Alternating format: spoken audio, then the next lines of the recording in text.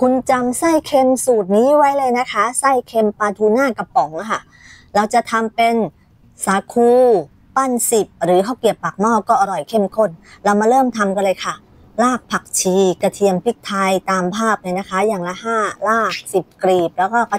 พริกไทยครึ่งช้อนชาตามให้ละเอียดพักไว้ก่อนนะคะ และทีนี้เราจะใช้น้ำมันพืชอะค่ะ 50 กรัมหรือครึ่งขีดนะคะ แล้วก็หอมแดงซอย 50 กรัมเหมือนกันเจียวให้เหลืองเลยนะคะ พอเหลืองเสร็จปุ๊บเราก็จะใส่รากผักชีกระเทียมพริกไทยนะคะ ที่เราโขลกไว้ตะกี้ผัดให้เข้ากันเลยนะคะ แล้วเราจะปรุงรสด้วยน้ำตาลปี๊บ 100 กรัมหรือ 1 ขีดนะคะ น้ำเปล่า 50 กรัม แล้วก็น้ำปลา 2 ช้อนโต๊ะนะคะ ผัดต่อไปจนน้ำตาลละลายเลยนะคะ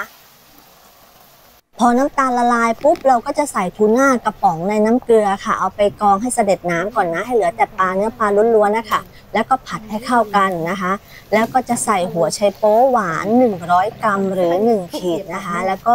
ถั่วลิสงคั่วบดให้ละเอียดนะคะ อีก 150 กรัม ผัดให้เข้ากันจนแห้งเลย ทีนี้เราก็ไปทำไส้ขนมต่างๆ ที่กุ้งบอกเลยค่ะไม่ว่าจะเป็นสาคูนะคะ ปั้นสิบหรือข้าวเกรียบปากหม้อซึ่งมันอร่อยเข้มข้นมากๆเลยค่ะ ลองทำกันดูนะจ๊ะง่ายมากๆ